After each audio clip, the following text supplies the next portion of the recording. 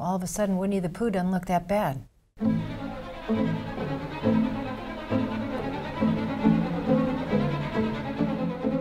Why are bees so important, these little things? One out of every three bites of food we take actually depends on bees for pollination, like apples, pumpkins, carrots, almonds. Some plants need a very specific kind of bee. Tomatoes need bumblebees. Really? Yeah, and it's not just about those specific foods. Yeah. It's also about our food security because without bees, we will have less food. It's also about ecosystems, though, Yeah. as well. About 85% of flowering plants depend on bees for pollination. So if bees go away, entire ecosystems can collapse. And these are the base of the food system, the base of the food web, and so they're a really important part of the environment. And we as human beings are very connected to that web. Right. We're in the web, so Right. to speak. We're hearing about all of this uh, bee colony collapse. Is that the right word? Is that Well, that is what they started calling it in 2007. Uh-oh, so I'm behind the times. We no longer call it that. That's what we called it when it was a mystery. what are we calling it now? Now we just talk about um, losing bees because we're not seeing the kind of collapse we did back in 2007. We're just losing bees year round now. Really? Really. So last Wait a minute, wait a minute, hold on a second. How many different varieties of bees are there? This is an excellent question. So, when we talk about bees and we talk about hives and losing them, Yeah. we're often talking about honeybees, which are not native to the United States, but they're very, very important nonetheless. We use them to pollinate many of our crops. We use them to make honey.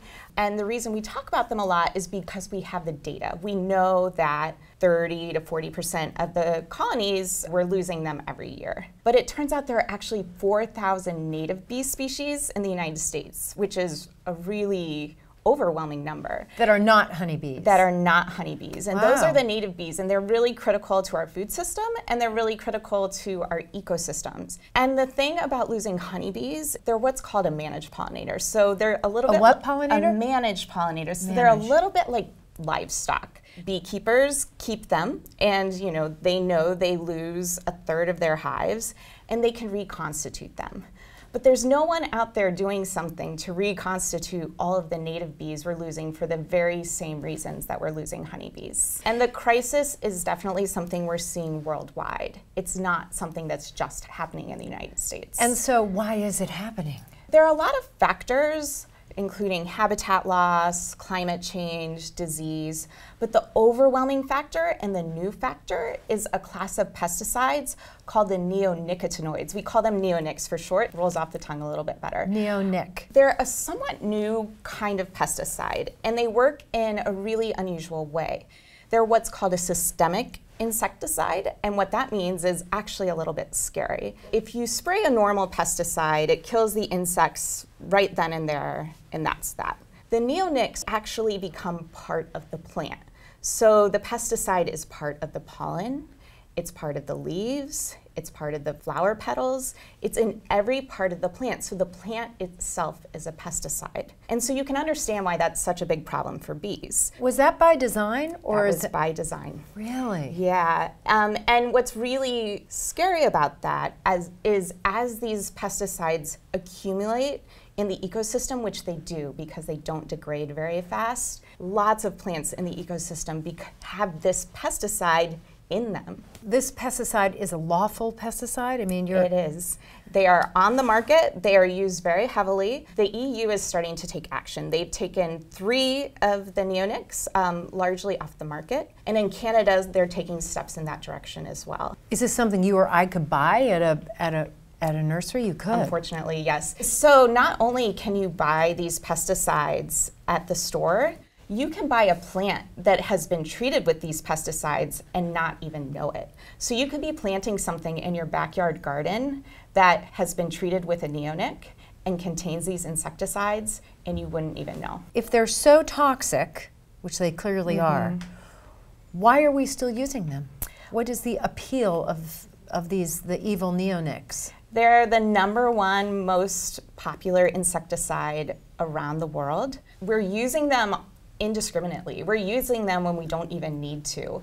One of the most popular uses is actually is what's called a seed treatment. So they treat corn and they treat soy and they treat the seeds. They're coated in the neonics. And so when they plant corn, when the corn grows, it already has the neonic in it.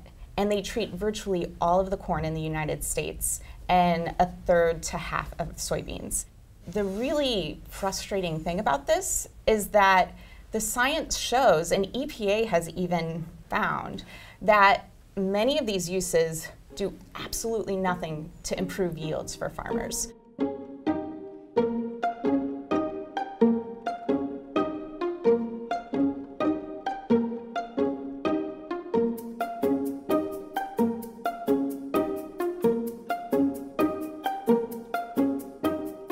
we're using these poisons in the environment and they're not with no benefit. No, absolutely no benefit. Wow. And the farmers don't even have a choice. It's very difficult to buy corn that has not already been treated with neonics. Really? And so every time a farmer goes out there and plants corn, they're planting these pesticides and putting them in the environment. If you're going to the market and you find organic corn, could that would be okay. That would be okay. Yeah. Just checking. Something that's interesting about them is you can't wash them off. It's part of the fruit or part of the vegetable.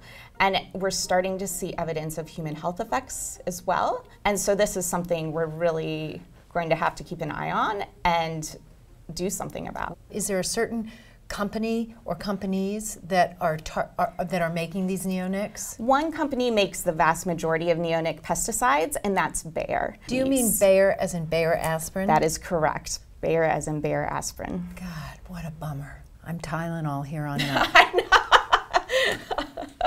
what is Bayer's response uh, when when they are confronted with the the, the horrors of making these neonics. So Bayer has a huge advertising campaign and social media accounts for their Bayer Bee Care Center. No way. They want to show that they're doing whatever they can to protect bees. They love to muddy the waters about neonics and the impact they have on bees. And they love to point to the other threats to bees, like disease, essentially to say, it's not our products, it's, it's something else. What can we do, what can I do as an, an average citizen mm-hmm. uh, to, to save the bees and thereby the ripple effect of saving the bees? What can we do? What action can we take? The most important thing to do is to call your elected officials, whether at a local level, the state level, or the federal level,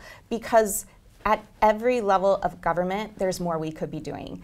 We could be planting habitat, we could be regulating these pesticides. Right. As our elected officials hear from concerned citizens, they will be motivated to act. But also, there are things you can do in your everyday life. You can make sure you avoid pesticides in your yard, and you can plant native, diverse, flowering habitat. That's great for bees, but it's also great for butterflies and other wildlife. Right. What are you doing at NRDC about bees specific?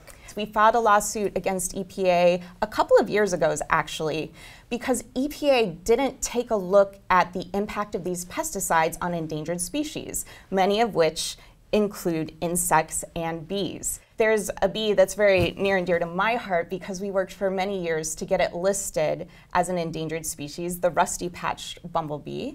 And that is sounds adorable. It is absolutely adorable. It was one of the four most common bumblebees in the United States, and it has lost about 90% of its habitat. So it's very endangered. So what we did is we worked to get that bee listed as endangered, and then we sued EPA because it failed to take into account the effects of the neonic pesticides on that endangered species. But it's not just bees, and so our lawsuit covers lots of things. These pesticides are bad for fish, they're bad for birds, they're bad for deer, and they're bad for humans. I was about to say, I have a feeling they're bad for us. yes. Yeah. And so our lawsuit has lots of endangered species in it, not just bees, because yeah. It's important that EPA take a look at the impacts on all of these wildlife. So all of a sudden, Winnie the Pooh doesn't look that bad.